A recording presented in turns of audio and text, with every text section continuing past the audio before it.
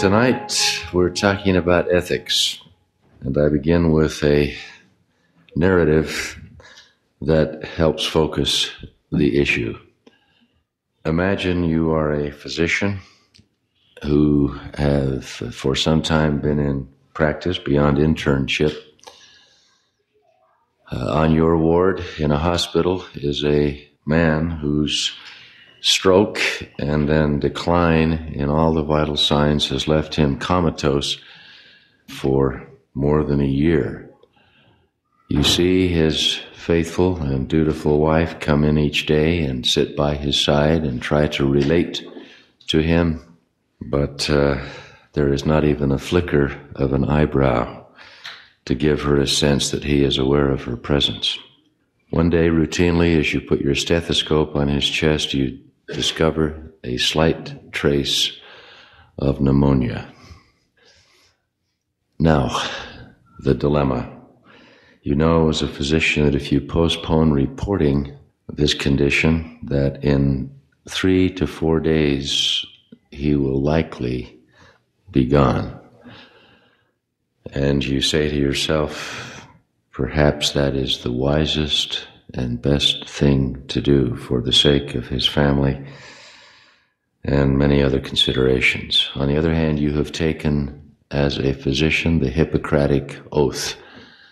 One of the undergirding motives of that oath is the promise that you will do all within your power to perpetuate life.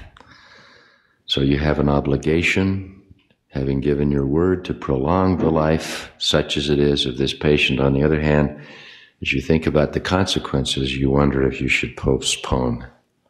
Question What should you do ethically? I didn't make the story up. I know the doctor involved. I will tell you that he deliberately did postpone, and the patient did die of pneumonia and his conscience bothered him, and sometime later he spoke of this to his superior and was told that if he ever again bent the rule in that manner, he would be broken as a physician and never practice again in the continental United States.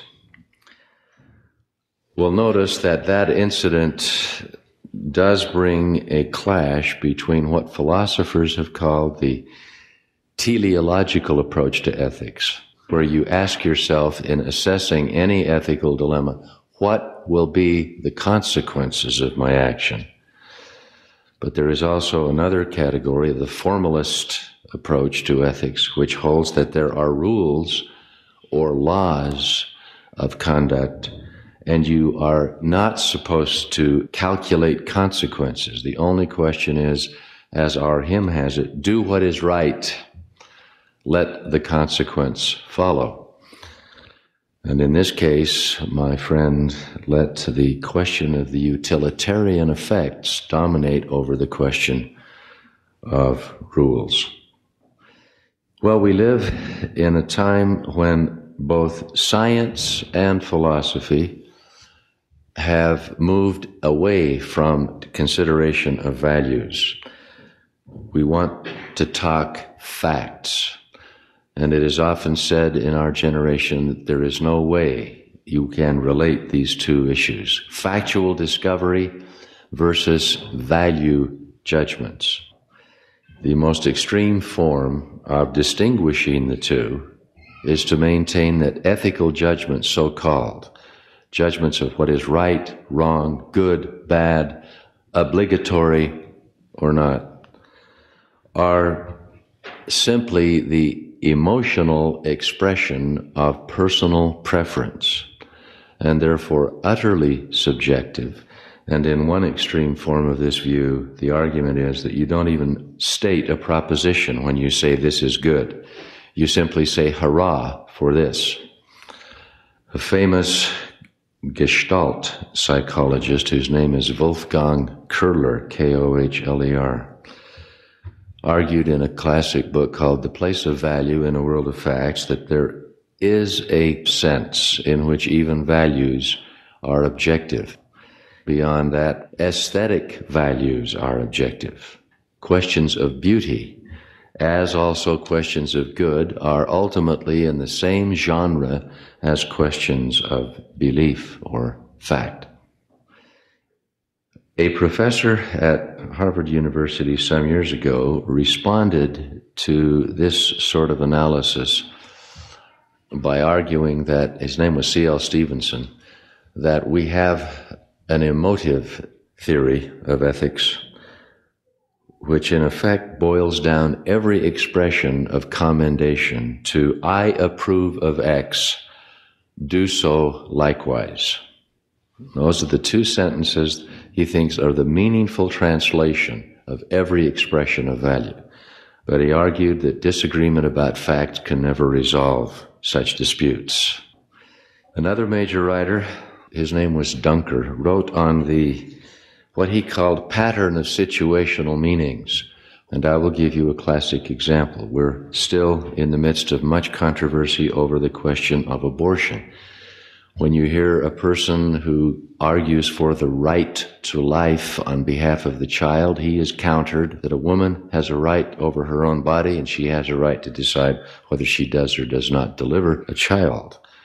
Duncker's point is that if you analyze what is in the background, factually, in the minds of these two opponents, it's not just a disagreement of attitude, it's a disagreement of fact.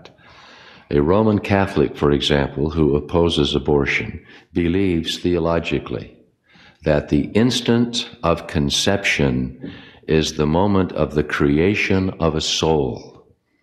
So any discussion of whether there is a living person inside the mother from that moment is for him moot. The answer is yes, this is a soul, and if you abort, then there is a separation of soul from body, and that's murder. But there are many others who take the view that you do not have a living person until the person is delivered and then takes the first breath. In which case, an abortion is the removal of the streetcar that the person could have ridden into this life, but not the destruction of a soul. If Duncker argues you could get the two people to agree on the facts, they would likely come to the same conclusion ethically. In passing, I should observe that we have three different views in our own midst on the question of when the spirit associates itself permanently with the body prepared in the mother. Some believe at the very instant or shortly after conception. Some believe during the time of quickening, which isn't always the same. And finally, some believe only in the moment when there is a breath and a cry and the child is in the world and alive. Another example of an attempt to save a factual understanding of moral judgment was the ideal spectator theory.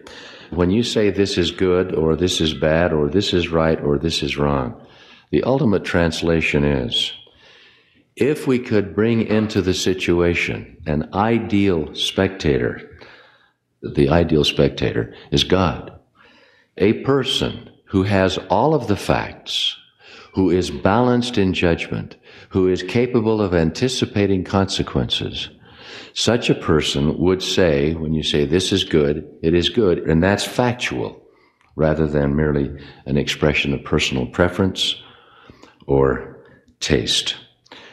Well, in classical Western thought, beginning with Aristotle and coming down to our time, there is a dominant theory which is even presently ensconced, at least in a partial manner, in the United Nations Bill of Rights.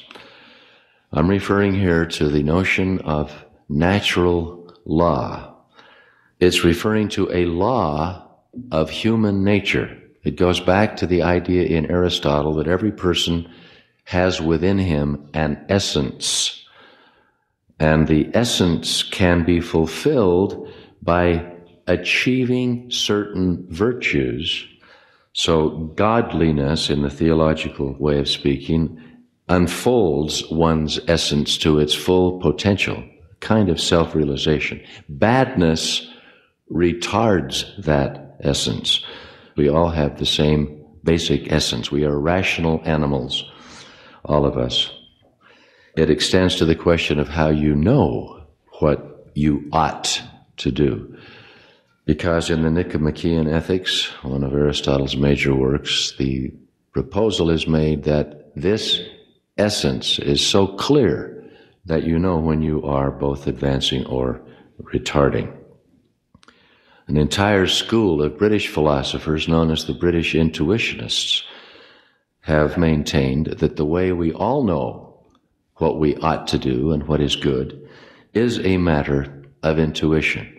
We don't know it by sense experience per se, and we don't know it by some sort of set of rules taught in our childhood. We know by intuition. There are three major views. They differ on the question of what it is intuition gives us. Some hold that you know by intuition that you ought to follow certain rules. You ought, for example, to keep your promises. You ought to maximize the good. You ought to apply the principle of least suffering to others around you, including animals. And they argue that's known by intuition, not any other way. Others maintain that what you know by intuition is some sort of non observable quality called goodness. G.E. Moore, for one, argued that this is what he called a simple, non natural characteristic, like yellow. All forms of the use of the word good a good woman, a good shoe, a good automobile, a good meal. They all have in common this quality, which is not observable as yellow is by the eyes, but observable through intuition. Then there's a third position that maintains that it is intuition that enables you in a given situation, only when you are in a situation of choice, to know what is the right thing to do. Well, to come back to the United Nations, let me dramatize.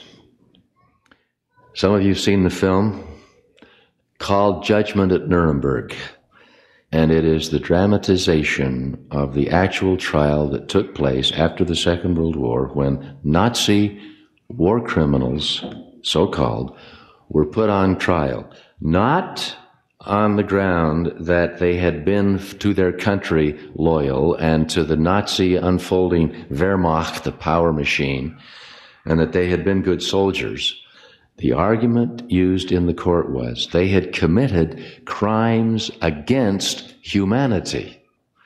The Holocaust, for example, the victimization of the Jewish people as a side part of the war effort, had no justification by any rules of war, and it was a violation of human rights, ultimate human rights. Now, all through the film, there is a man who was a physician who over and over says, I was never one of them. I was a German. I was not a Nazi. I didn't sympathize with the war. I did not participate in it. I am not one of them. But he is eventually convicted. When he signed a certificate as a doctor that permitted a certain man to be killed because he was a Jew. That was a crime against humanity. And in the last scene, when the court rules and these men are condemned to various sentences in prison, this same man says to the judge, But you know, even though you've condemned me, you know I was never one of them. And he replies, On the day you signed that certificate, you became one of them. Well, the UN Declaration of Rights is an expansion of the same kinds of declaration we have in our Constitution and in its amendments. And the attitude of this country to the violation of such rights, as have recently occurred in what was Yugoslavia and what is still China, the condemnation of those is not we are coming as an outside body with a different set of premises in our culture and we're condemning yours. To which they could reply, well, ours is different, so what? The argument is that they are violating ultimate human rights regardless of their political stance or their present situation in the world. Thomas Aquinas, the great Catholic interpreter, maintained that there are two kinds of absolute in the realm of ethics. There are moral virtues, moral virtues which are the expression of the tendency to fulfill your essence, and then there are intellectual virtues. And it is right and appropriate and good for you to develop intellectual virtues, and they are the same in all good men and women. You've heard the famous Karl G. Maeser definition of integrity. Put me in prison, no matter how deep you put me in a cell, no matter how many locks you put on the door, I can still get out. But draw a five foot circle or so with chalk and put me inside of it, and then get me to promise that I will not step outside of that circle. Will I? No. I would die first. But what if, after giving that word, I will keep my promise? he learns that in the next room, if he does not leave the circle, his wife will be attacked and raped and or killed. Does he have an obligation to stay within the chalk circle because he gave his promise? Is that an absolute? Or does he have an obligation not only to step outside of the circle and break the promise, but to prevent that act? If you promise a person that he can come by on the following Saturday and borrow your gun, and you say, fine, I'll, I'll, have it here and it'll be loaded. And then you learn in the meantime that he intends to commit suicide. What are you going to do with your promise? Point, those are not absolutes. We are sometimes accused in our tradition of being absolutists in matters of ethics and morals, but not everything that we affirm is an absolute. Some are rules of policy, some are rules of wisdom, and some have to be modified and adapted to the circumstances. We give that much to what is called in our time situational ethics. But let me now give you what I believe to be an absolute. And it ties into a question that philosophers have argued for 2,000 years. It's the egoism versus altruism dispute. A philosophical egoist, this is different than a psychological egoist, maintains that everyone acts for his own pleasure or for his own desires. In other words, everyone is ultimately selfish. Whatever he does, even things that look like or appear to be efforts to assist others, he does for one reason only, namely his own satisfaction. So he is an egoist.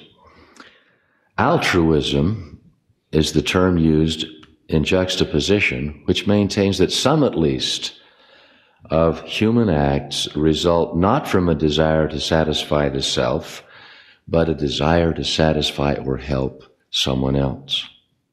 A mother who throws herself in front of an automobile to save the life of her child is considered an altruist.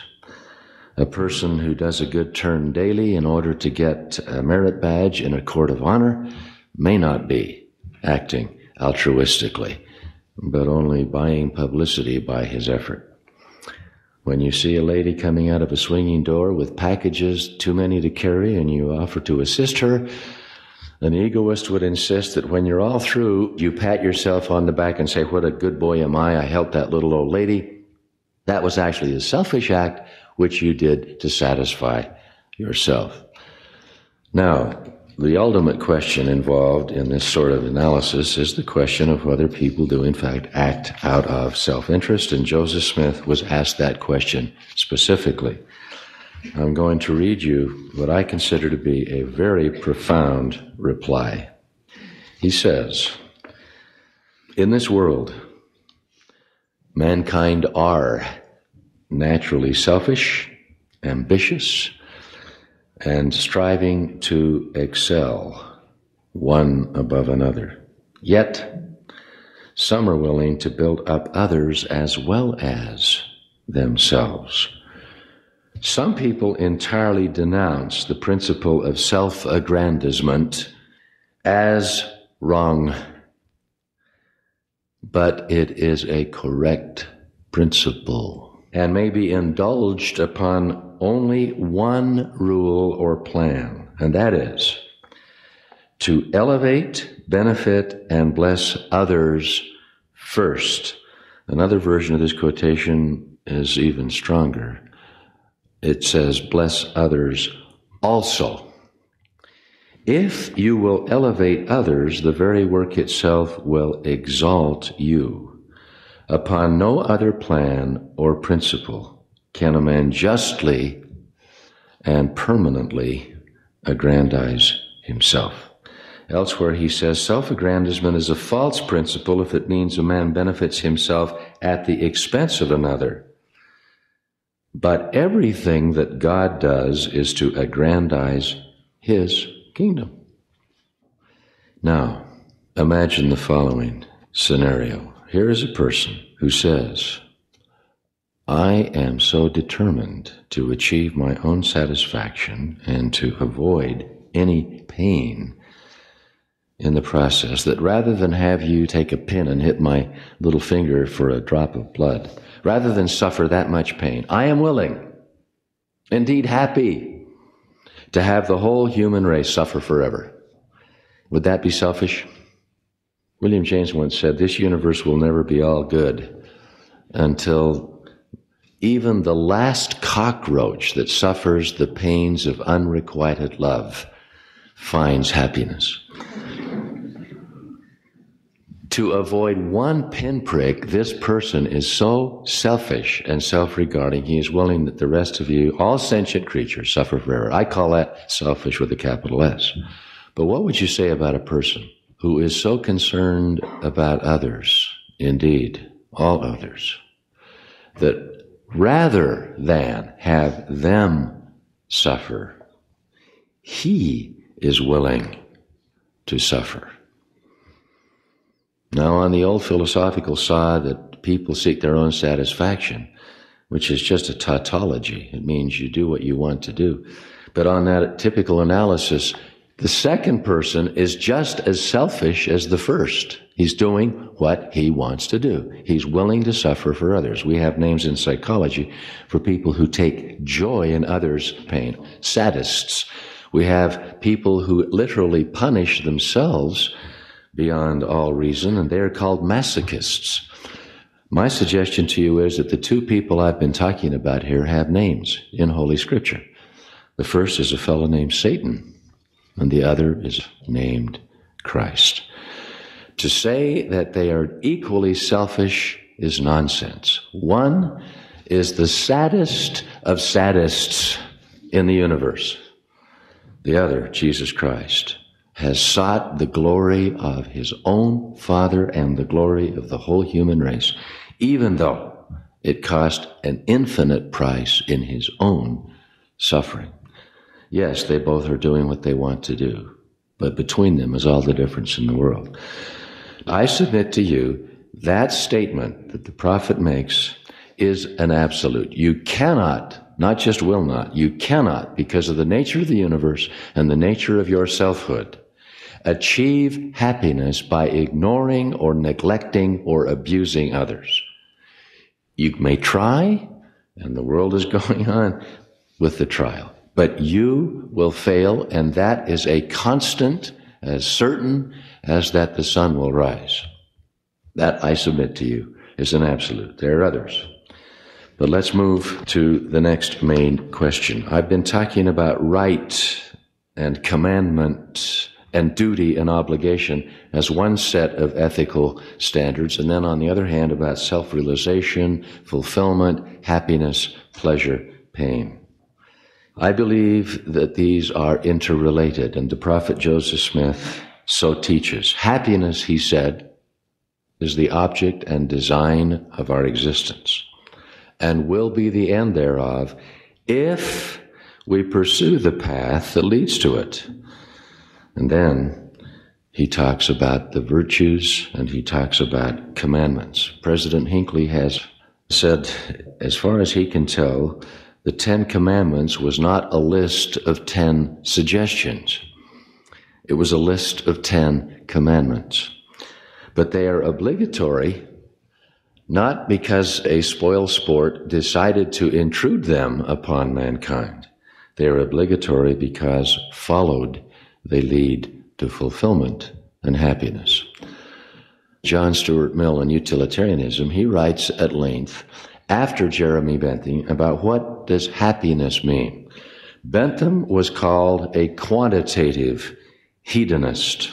That is, he took the position that pleasure is the only ultimate good, and to maximize your pleasure is your duty. And he held the more the better, of course. Mill's point was that pleasures differ, and on the scale of pleasure vis a vis happiness, vis a vis joy, and I suppose the most inclusive word in our English vocabulary would be ecstasy. Uh, he held that these were qualitatively different, and therefore you couldn't just settle the question of what pleasure to seek on the ground of its quantity, but rather the quality. C.S. Lewis, in describing what he thought to be the beatific vision to come, talked of the little boy whose sister comes home after a date and reports that she's had the sweet experience that night of being kissed good night by her boyfriend. The little five year old is puzzled. What is so good about kissing? His main access to pleasure is chocolates. So the little boy says to his sister, Well, it was really wonderful? Yes. Then he says, Well, what did you do? Eat chocolates together? Well, no. The point is that there are higher pleasures, and that Mill's point that qualitative differences ensue is sound. Well, so how do we relate obligation to goodness? We hold ultimately that the obligations arise from laws and that laws have consequences and that they do not tell you what you have to do. They tell you, as I keep repeating, the inevitable consequences of what you do do. A related issue. Which is more important, performance or motivation in the performance? You have to do things for the right reasons in order to obtain the fulfillment or the consequences. I had a professor who was taking on the relativistic analyses of motivation and pointing out that we have not yet come to any sort of agreement after a hundred plus years of efforts in psychology as to what is the dominant motive or a hierarchy of motives in mankind. What is it we all ultimately want? So, in order to make his point, he said, Let me uh, introduce a new theory. Instead of the Freudian theory or the Jungian theory or the whoever, I will call this the soporific theory of motivation. I maintain that what truly drives all of us, day and night, is the desire for sleep. All of us are living our lives for one compelling motive. We want to sleep. Now let me give you the evidence. People go on hikes. They claim they want to see the beauties of nature. No, no, that's all sublimation. They want to get tired in order to go to bed. You people think that people who love each other kiss and hug, and you suppose that the desire is for closeness and love. Nonsense. They want to get worn out and tired in order to sleep. We could go on with this, but you've already caught on. How does one refute such a theory? He always can cite instances, and you say, well, they say they're climbing up the mountain to see the view. And I know that's what they say, but the hidden motivation is for sleep. Well, who knows our motives? I submit to you that observers from the outside may not ever really be very sure. This can save you a lot of arguments. Do not ascribe motives to others. Look inside and introspect, and you can probably find out some of your own. You don't know what is pushing, motivating others. Make shrewd guesses, but you don't know. So don't argue. Take them at their word. Ask. The ultimate person who knows our thoughts and motives, of course, in our understanding, is no one in this world. It's God. There is none else, says a revelation to Oliver Cowdery, that knows thy thoughts and the intents of thy heart, except God, none else. He looks upon the heart, and motives do matter. The entire Sermon on the Mount could be read, at least has been by some ethicists, as an attempt to take the ancient commandments and relate it to the question of why are you doing this and what is inside of you when you are doing it. So, for example, if you pray to be seen of men, according to Jesus, you have your reward. Your intention was to get the attention of others so they'd say, My, my, what a reverent man. Well, that's what you wanted. That's what you received. But that isn't prayer. If you give generously as a philanthropist and give so that a golden plaque is put on the building, you have invested effort and the hard earned cash of your career in a beneficent project. But you may have been motivated simply by the desire for publicity.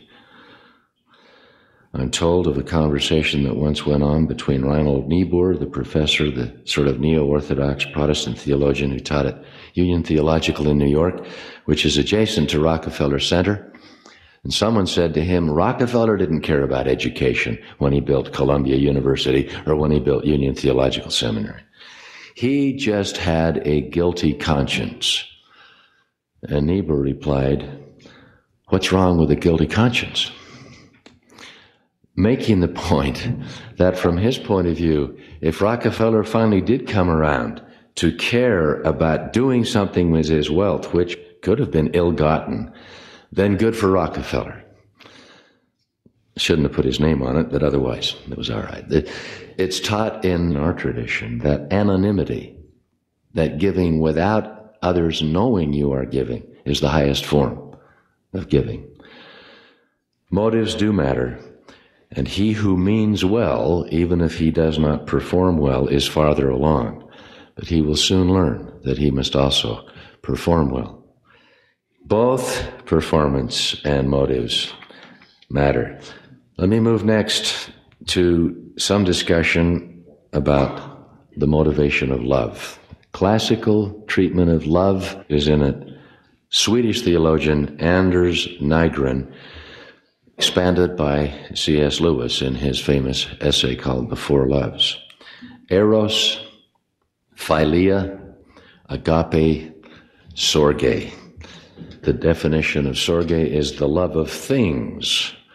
I suppose uh, Cadillacs and motorcycles. The other three relate to other persons. Eros, of course, erotic love, which culminates in marriage, in the deep affection of mothers and fathers for themselves and for children. Agape is the Greek word for the love of God, which is supposedly disinterested and total. And the other term, philia, means brotherly love.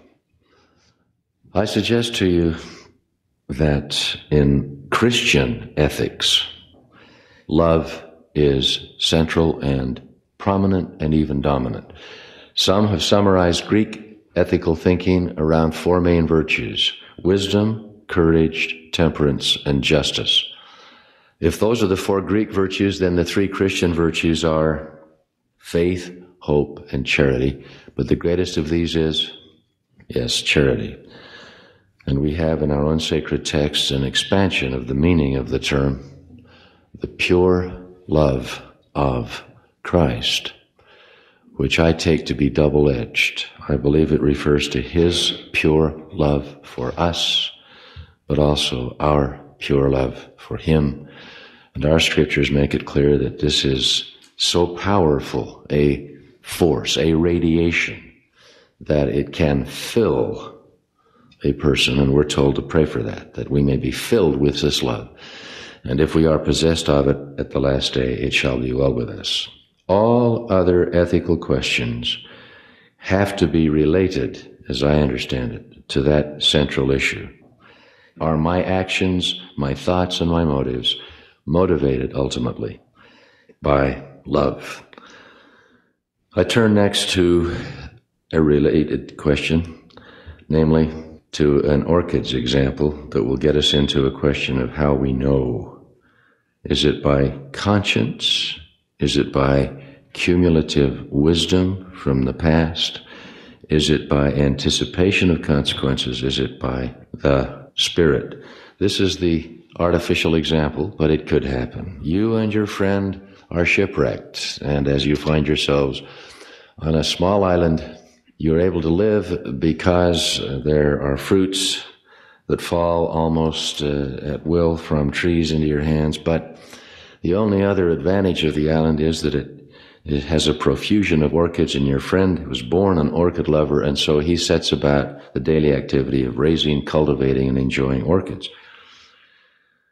One day he exacts a promise from you, namely, if I should be fatally beamed by a coconut and you are left alone on this island, I want a promise from you that you will take care of my present crop of orchids until they bloom and are beautiful.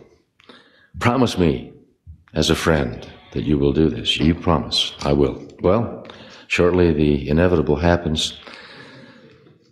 You bury him in the sand, and the next day, a ship arrives, the first and perhaps the last, which will take you back to civilization. Question Do you stay, keep your promise, and take care of the orchids, or do you get on board the ship? The great majority would get on the boat and leave. Now, why? Well, all sorts of plausible reasons which were not part of the story originally. Well, I had earlier made a promise to my wife that I would get home as soon as possible, and that takes precedence over my promise to my friend. Or I didn't tell my friend when I made the promise that orchids affect my asthma, and uh, if he had been alive, he wouldn't have asked me to make the promise when I finally got down to keeping it. All this sort of thing. To avoid the ultimate issue does you or does you not keep your promise? I suggest to you that in the real dilemmas of real life, neither the he had been alive, he wouldn't have asked me to make the promise when I finally got down to keeping it. All this sort of thing. To avoid the ultimate issue does you or does you not keep your promise? I suggest to you that in the real dilemmas of real life, neither the anticipation of consequences nor the application of rules is fully satisfactory. Another factor must be involved. I'm going to be, for a moment, autobiographical. I hope you'll forgive me. Uh, but a dilemma arose when I was at your age and stage. I was proposing seriously to get married, but I had no visible means of support. I was in the least practical field in the universe, namely philosophy. You've never seen a want ad in the paper for a philosopher. I wanted to get married. I did not have a visible means of support. I agonized over the when, not the whether, but the when, and kept postponing. And finally, when we were at loggerheads, the lady to be the bride and I, over the question of when, and I had kept her waiting a long time, we decided to go for counsel. I had a piece of paper, and on it, uh, column A and column B. In column A, I had at least 10 reasons why not yet, and only one uh, for why now. And the one on why now was because I'd love to. Uh, he didn't listen to more than two of my why nots and then said, Get married. And after my chin dropped on my chest, he added, Soon, like tomorrow. what rules apply here? and uh, what consequences was he calculating? Was he a utilitarian? And how dare he preempt my choice? Well, we did it. And uh, it wasn't until four and a half years later, when my wife had reached the ripe old age of 28, that we learned from the Rock Clinic in Boston that she could have no more children. My wife could not have children, it slowly began to dawn on me that if I had ignored the counsel I was given and postponed marriage for a year, we would not have a little girl named Mindy. If I had waited more than that, two to three years, we would not have Barney, maybe any. All through our lives, we have uh, encountered, sometimes a little behind our backs, the comment, well, the Madsens only have three children. I wonder why they don't have more. But we wonder too. Conclusion Not the application of a rule in Kantian formal terms and not the calculation of consequences helped us much. In that situation, we followed the counsel of a wise and we now believe inspired man. I went back years later and thanked him in tears. We need to know in a way beyond the best efforts we can make by our own analysis and reasoning. That's why we do not have in the Mormon church a manual of discipline that has all the rules for all conceivable choices in action. We have scriptures, many of which say, call upon me. Ask and ye shall receive. Seek and ye shall find. Do not trust fully in the arm of flesh, but seek my spirit, and I will guide you.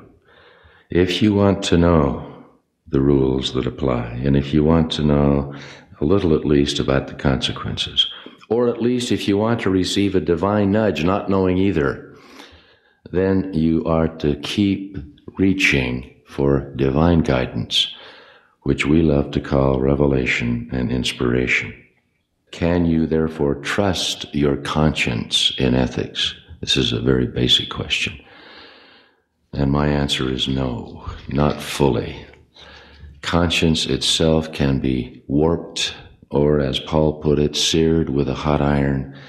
Conscience is in fact conditioned by environment and teaching to some degree. And the clearest and most sensitive conscience, again, is only in the person who has responded to the inspiration and power of the living God. We had a visitor here, famous theologian, who was terribly troubled over the dilemma of whether God is everywhere and yet at the same time wanted to believe the biblical tradition about personal presence. Even the idea that God is somehow more present in his sanctuary, namely the temple, than in any other place, posed for him a terrible dilemma since, on the first view, God is everywhere. I said to him, Have you never thought of the alternative? That God as a person is both some place and some time, therefore not everywhere at once, but that his emanating spirit the radiant power of life and light extends throughout the very extent of space. And he struck his two temples with his hands and said, I never thought of it. But that's the most elementary insight in the restoration understanding of God.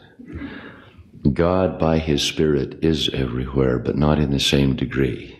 God is only present where he and his spirit are permitted to be. And he will be inquired of by his children. The ultimate answer, therefore, to what is good and how do we know is God is good. In the name of Jesus Christ, amen.